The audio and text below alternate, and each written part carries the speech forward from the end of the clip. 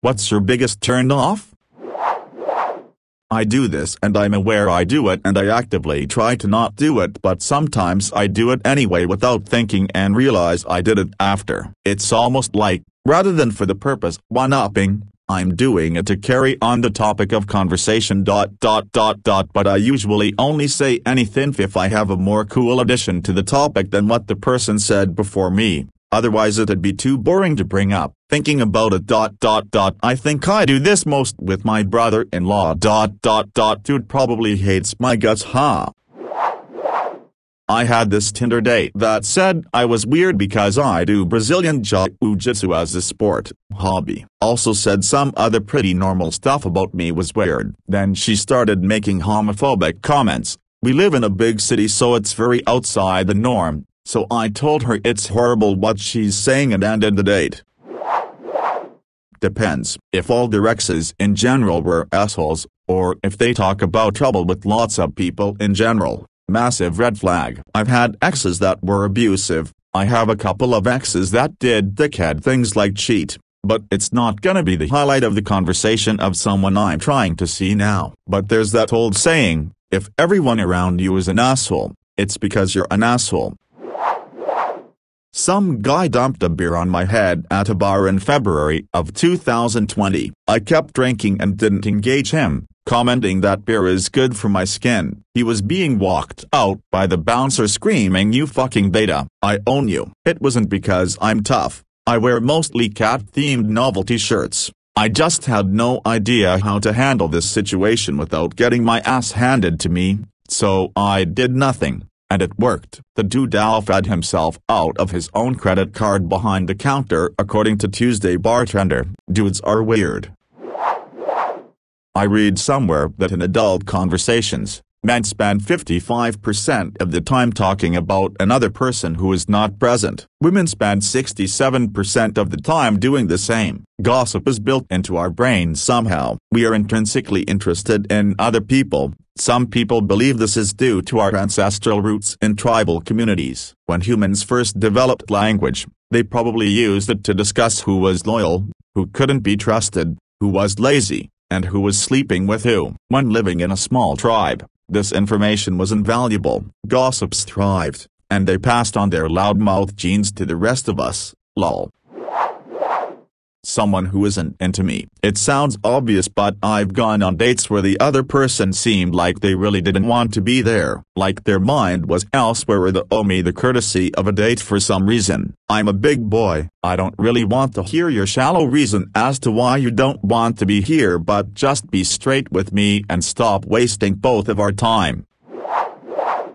This one pisses me off too. Prior to dating my ex just about everyone I would match on dating apps seemed somewhat interested and dateable. Then after we broke up and I eventually put myself back out there by making new accounts, Either everyone just replies with closed answers that I can't play off of or they will seem really nice but not in a you seem interesting. Let's see if we are a good match. Way but a more customer service. Wine I'm just going on a date with you because that's just how this works even though I have already made up my mind type of way. Yep dot dot dot. People who are mean to others. That just happen to be weaker than them. Dot dot dot. Makes my blood boil. My sister-in-law had some insert swear word here, parked too close to the handicapped spot that they were parked in, in the lined area of the handicapped spot, which made it impossible for her to maneuver her medically handicapped child's wheelchair. Then, on top of that, they were verbally abusing her as she tried picking him up, getting him in the vehicle, and wrangling his chair. Such chiness, is that a word? Makes me so angry. Wish I had been there. I used to think this was a myth, that when people said about this particular stench that they were describing someone that skipped deodorant that day but fuck me I took my kids to an indoor playground a few weeks ago and there was this guy's there that smelled absolutely foul, through a mask. I could smell him from 15 meters away and he stunk out the playground. Never in my life have I smelt anything like it, I don't even know how he got that way.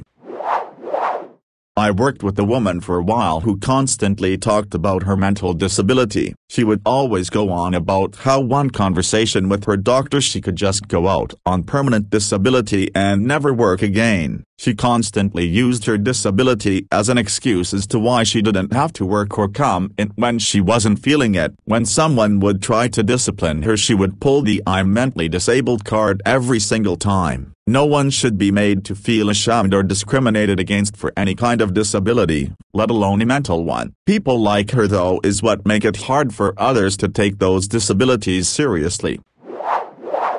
I'm with ya. As a general rule, if you're the sort that often apologizes to guests because of the mess this likely doesn't actually apply to you. Not having done that night's dishes yet is acceptable, as is laundry hanging to dry indoors or toys lying about after a child. Dishes that are actually growing things in them is unacceptable. Clutter on every surface of your living room is unacceptable. The entire floor being covered with Lego despite the youngest person in the house being in their 20s is commendable.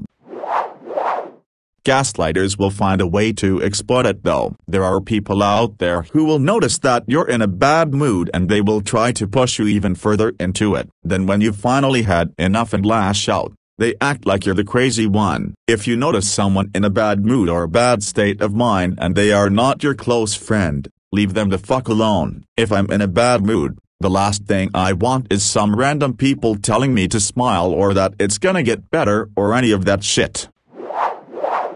I hear that man. My mom was bulimic when I was growing up, catching her in the bathroom sicking up the meal she just cooked for us all. Heartbreaking. She now has a mouthful of dentures and can't eat anything but bland gluten-free bread cause her stomach is so messed up. She's only 55. I met a girl when I was 17 who was perfect, in every single way. Then I popped onto my bathroom thinking she was downstairs and caught her with the toothbrush down her throat. Man, I was unsure if I should walk away or go through the same stuff I did with my mom. I stayed with her for five years and battled her issues with her. Then we broke up on year five and I don't think I could put myself through that again. What those tipping well means, I mean inform me you where it's not as obligatory as it's in US might be but like any tip should be accepted and thanked for if there is no obvious rudeness to it as leaving one cent or whatever. Not leaving a tip when you're happy with your meal is not rude in any way. And even more less rude is the action of leaving even a small tip. Poor hygiene is at the top of my list. I briefly dated a guy 11 years younger than me and he told me on the first date that he doesn't like wearing deodorant because of the aluminum in it. We discussed brands that don't have aluminum, animal cruelty free, and I even offered to make him one since I've made them before. I have no problem with people making the best choices for themselves and their bodies, especially if you're into your own musk and scents, but after a six-mile hike in the rain together I just couldn't bear myself to be around him anymore. That Chewbacca in the spin cycle smell is not for me. At the very least hit your pits with a dab of something.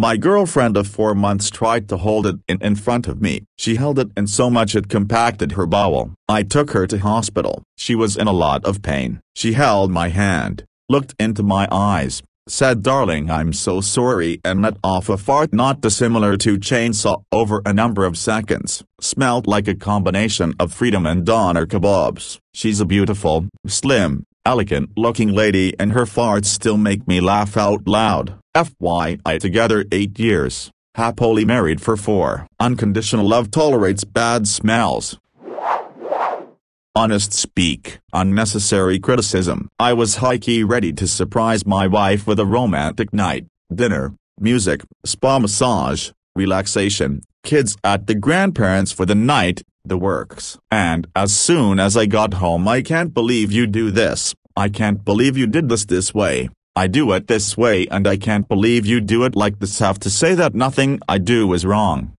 or incorrect or inappropriate it's just not how she would do it. Cancelled all my plans and just had a night and watching TV cause the immediate unnecessary criticism killed all the mood. I had this girl at work that was hot in my opinion and just the other day she told me that she dreamt that me and her had sex and then had a baby, was a turn off. I told her you don't tell people you don't know stuff like that. She was hot but she was lazy called in sick every other day and once she did arrive at work she was on her phone all the time, also turn off. someone that doesn't try to spell things. Errors are fine. It's just, call me cold and fickle, but I'm always happier if I am looking up to someone I interpret as a bit smarter than the average person. Myself. I'm going to have zero respect if you type like a fucking moron, and ghost you because I just feel too guilty even thinking about being a straightforward dick about how I perceive your intelligence. Doesn't matter how hot or not you are, I just can't. Physically, fake body parts, personality, just being the kind of person that talks others down, has catty behavior, emotionally and mentally immature, women that make enemies or other women, and women that feel that every woman is after her man, jealousy, also, women that accuse others of being a cheater for having female friends, and finally, women that have the all men are trash attitude. Insincerity. There's nothing more telling and repulsive as getting to know a sweet, respectable dude, only to see he and his friends joke together. He'd never make a rape joke to you because he knows you wouldn't approve but when the nasty jokes fly left and right around the buddies you're getting to know what he'd approve of if you weren't there. Not to mention the outrage that he's been acting fake to gain your approval up until now. This could actually get some flack, but, Smoking of any kind. I grew up with parents and people they knew constantly smoking either cigarettes or marijuana. It ruins your houses, clothes, cars. You could be a 10. Once I see any kind of shit like that in your mouth, I'm out. Lack of creativity and imagination. Lack of desire to be better at something. It could be as small as making macrame for all I care. It's the dedication I want to see. Lack of a sense of humor and inability to have a good time just messing around doing nothing around town. Not every date has to be super expensive, folks. Chemical dependency, not counting prescribed medication. I'm talking about people who make pot a personality, aftermarket pills, cocaine, etc. Making fun of disabled people, looking down on them, bad parenting, making kids come last, piss poor money management skills. I get not everyone can be great at this, but there is a fine line between bearable and not. Lack of intelligence, lack of the general use of intelligence. Most of you went to school for at least 12 to 13 years, not 4. Spell words correctly. ETA, willful ignorance of even the basest goings on especially now. Anti-vaxxers, hyper-conspiracy theorists, worrying what other people think about every single thing. Fuck em. Edit. Apparently this is controversial. Cool. 1. Bitchy attitude. If you are an insufferable piece of shit, I don't care how pretty you are. There's not a snowball's chance in hell I'm dating you. 2. Won't shut up about politics, societal issues, conflicts on the other side of the world etc. Just save it. Some people just want to enjoy living their lives without worrying their asses off about something they can't even help change. I'm one of those people, and if you can't go five seconds without bringing up why this presidential candidate is bad, or what we should normalize, or what country thousands of miles away needs our help, then I want you staying far, far away from me. Bonus, negative, points if you actively choose to antagonize me for not wanting to associate myself with the headache, if you say I'm part of the problem or on the side of the oppressor simply because I want to live my fucking life with as little worries as possible, then the door is open for you to walk out of my life before I deliberately choose to kick you out. 3. Zodiac Obsession If you genuinely believe the day you happen to pop out of your mom's vagina is somehow going to determine your personality, then please, do yourself and me a favor, and keep your mouth shut, and stay the fuck away from me. The last time I got stuck in a room with a bunch of zodiac nonsense spouting morons, I visibly wanted to off myself, for, shoves lifestyle, views, beliefs, etc. down my throat constantly. I don't care whether or not you're religious, part of the LGBTQ, on a certain side of politics, vegan, etc. I respect that, but the moment you start constantly shoving all that in my face, down my throat, and up my ass, somehow stick it into every conversation no matter how unrelated, and just generally don't shut up about it for two seconds, then congratulations, You've lost all my respect and I do not want to associate myself with you any longer. And that's about it. A man that's a bit sad to hear. I can't really say about back disorder but I had bad posture, quite unfit and used to sit all day. If it's possible hit the gym, it helps a lot. After doing it for almost a year nearly all my body issues are gone. Also for hair try hair transplant. My elder brother got nearly bald but after this he started to show some hair growth. Also, try to get up and take things in your own hand man. Yeah, it takes a lot of willpower to correct yourself but it pays off at the end. And at the end of the day you will be satisfied and proud of yourself. Hey, if you are feeling down or need someone to talk to you can DM me. Have a nice day. Being overly whorish, it's not being too adventurous during sex. I'm sure everyone likes a freak, or having sex too soon I don't think having sex on a first date is a sign of you being a whore. But there is a certain amount of purity I enjoy in a woman almost to maturity to her that signals that she doesn't just give in to luster and can control herself even in very intense romantic settings. I'm not talking about playing hard to get which is extremely obvious and just as much of a turn off when a girl knows how to be flirty and yet at the same time makes it feel like I'm actually hunting a girl down. Sounds oddly arpy, even if I know she's 10,000% down. It makes me like her more than I probably would have. When she's too willing to drop her panties it's almost like a chicken plucking its own feathers then throwing itself on an open fire. Or getting your first job only to inherit $1 billion. It's cool and I'd still enjoy it, but extremely dissatisfying at the same time. People who don't respect animals especially people that don't talk respectfully with them. Used to know a guy who'd say my dog's name really aggressively or just grab her while she was walking past BC she didn't like him and never stayed close to him. For obvious reasons, I always called him out on it and tried to explain how to approach her with more care and respect, he never changed his ways. A couple of weeks later he called me a whore for not wanting to sleep with him and kept stalking me for months after I blocked him. Every person that's ever treated animals with disrespect around me has been utter trash. Ghetto culture. I've never found it hard to avoid thankfully. I refuse to allow it near my life. Low IQ people in general, like I don't hate them or wish them ill. I just don't want to be involved or show support and so I don't. No exceptions really. Cigarettes. It's the worst thing. Also, fat people. I don't really need to elaborate. It's ugly and usually comes with personality disorders and self-esteem issues. And last, some, most MTF transgender folks. Just in general it grosses me the fuck out probably because I'm also transgender and don't like the reflection rough. I'm overexposed to these folks and so bias harder than others I assume. No bigotry intended. Talking negatively about people slash not filtering thoughts. I love my boyfriend so dearly but there is not a thing in the world that turns me off more than when he makes unnecessary comments about people to me, maybe what they are wearing or something they are doing just kind of not filtering his thoughts. I'm a super live and let live person and I can't stand when someone wants to talk negatively about others. Also, guys, or girls, that lie unnecessarily. I've been with or on dates with guys that will lie to impress you or sound like someone they aren't, but it's always super obvious and I just get second-hand embarrassment. All this while knowing not to ever trust them. When she grabs my balls and twists them, I say, ouch, can you please not do that? It hurts and her nails are digging into me.